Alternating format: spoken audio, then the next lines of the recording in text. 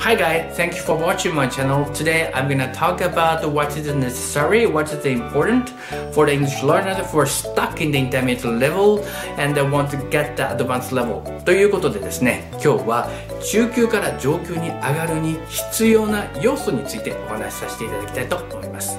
はい、まず中級ってどういうレベルかなっていう話になりますけども私の中で、まあ、中級日本人の中級ですよ中級っていうのは、まあえー、最低限の単語力があって、えー、相手に伝えられる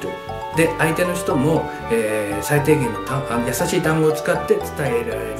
伝えられたことが分かるということですねただしお互いが伝えようという意識がないとダメです。まあ、こっちはあると思うんですけど、その話す相手が、えー、こっちを理解しようとするっていう努力をするっていうですね。えー、それがないと成り立たないレベルが中級になってきますね。が日本人日本の英会話学校の、えー、学校人講師たちはこのレベルでお話をしていただけますので、まあえー、学校の英会話学校の先生と話ができるですねレベルっていうのが中級になってきますでここまでは、えー、最低限のボキャブラリーがあればできるので、えー、まあ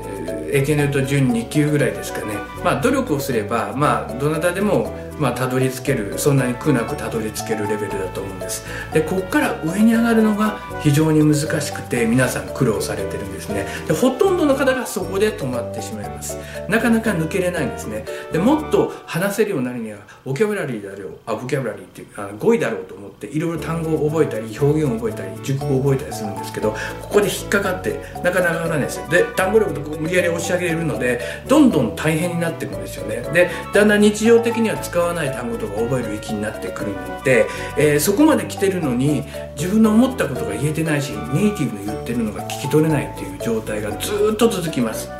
方や別の英会英語の勉強してる方っていうのは仕方をしてる方っていうのはそういうですね壁なくスーッと上がってきます。むしろここからだんだん加速して上がっていくような形になります。何が違うかっていうことですね英語で英語が勉強できるかどうかここになってきます。中級から上に上がるっていうのは、えー、思ってることがスラスラ言えるんですね。日本語で考えたこともパッと言える。日本語しかない文化のこととかですね。パッと言える。でネイティブが言ってることも、えー、分かる。ここまで来ようとここになろうと思うとものすごい量のボキャブラリーが必要になってきます。文法力ではないです。ボキャブラリーになってきます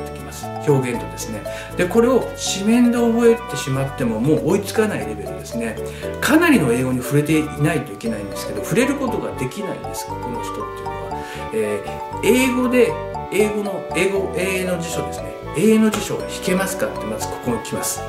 で英語で英語の辞書を引くと意味が分かんないからってもうここで終わってしまう人はもう上には上がりません。英語で英語を見て分からないとじゃあ他の、えー、例文はないだろうかとか調べたり、まあ、最悪分からない時は日本日本語で書いてるので後でチェックしてあこういうことを英語で説明したかったんだっていうふうに納得する。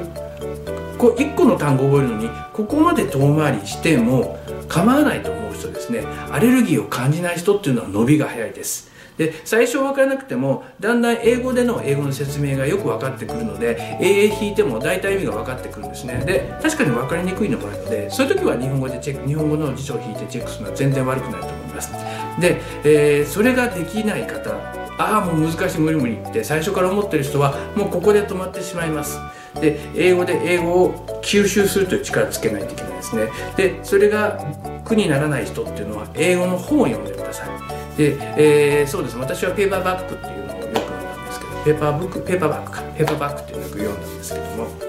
シドニー・シェルダーですね。英検2級ぐらいの時だったと思うんですけどもうすごい面白くてですね、えー、もう10冊以上読んだと思いますね。英語でですね、えーすごく力ついたと思います、えー、それを読むのが苦にならないかどうか。っていうことでわからない単語を調べてもあこういうふうに言うんだったらそれが楽しく感じられるかどうか。で、えー、それでも音としては、えー、入ってきてないので喋る分聞き取る分にはやっぱり足りないんですね。でやっぱり、えー、英語のですねテレビを見て、えー、英語を吸収するという力があるかどうかここが一番大きいと思います。ヨーロッパの方とかっていうのは、えー、音が似てるからでしょうね。テレビを見たりしてもどんどんどんどん吸収できるので彼らっていうのはズワッと上がってきます。で日本人の方でも、えー、英語を勉強する最初の段階で、えー、音が大切だなと分かってる方小さい頃から英語やられてる方ってそうだと思うんですけども、え、発音を勉強して聞き取りを勉強して英語を始めた方っていうのは、え、もうスワッと上がってきます。でそれをやってない方ですね、え確かに英検のあの高い、え級取れたりですね TOEIC のいい点数取れたりはしますけどボキャブラリーを勉強すればですね。でもやっぱり音ができてないからある程度言ったら詰まってしまうんですね。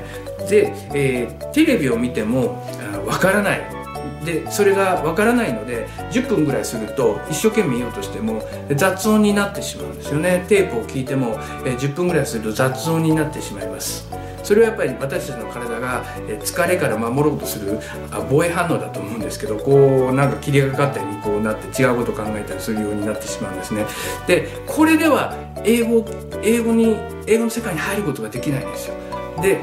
どうやったらそうならないかっていうことを考えないといけない。ね。でやっぱり大人の方は音を拾えるトレーニングをしないといけないと思います。音を拾えてくると単語が聞こえてくるので、えこういう組み合わせでこういう意味になるんだとか、えー、分かりやすくですね、えー、ビジュアルなものがあるのでテレビの場合はですねあ悲しい顔してるから悲しい時に使う表現なんだっていうのが無意識に分かってきます。でどんどんどんどんそれで入れていかないと上級になるレベルには間に合わないんですね。で NHK のあの初級の方が使うよう NHK の上級って書いてるんですけどもの日本語で説明してるそういうのですねあの時すごいいいんですけどもそれでは間に合わないんです。それだけではダメなんですよね。ですんで、え上級になるにはどうしたらいいか。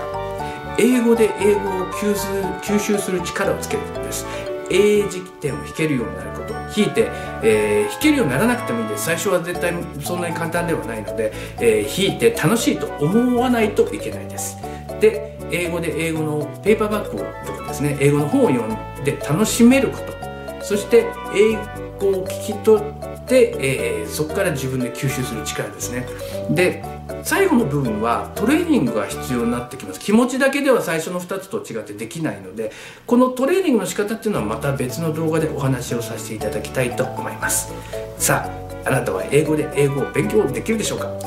できれば中級から簡単にアドバンスに上がってきます。そこは足を中アドバンスへの、えー、階段に足をかけれた人と考えてください。